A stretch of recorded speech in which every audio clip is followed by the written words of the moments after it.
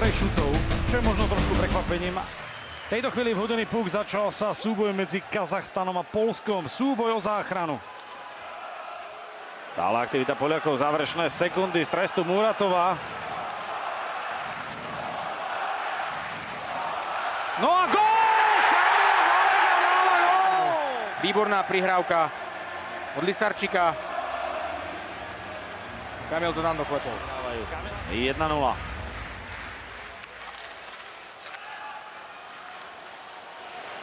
Ale teraz Michailis dokázal zrýchliť a strelil gól. Toto je najdôležitejší hráč Kazachstanu. Je to ich najväčšia hviezda, e, ktorá doteraz bola neviditeľná v priebehu šampionátu a No, Šutov teraz čelil nepríjemnej strele od modrej čiary od Marcina Koluša. Ešte ďalší puk a snaha o teč.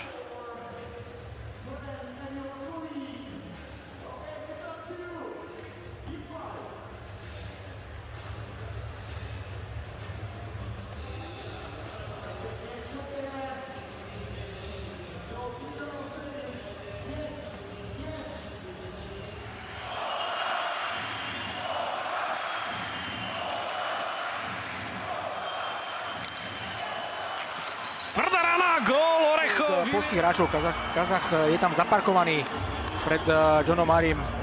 Mal zakrytý výhľad.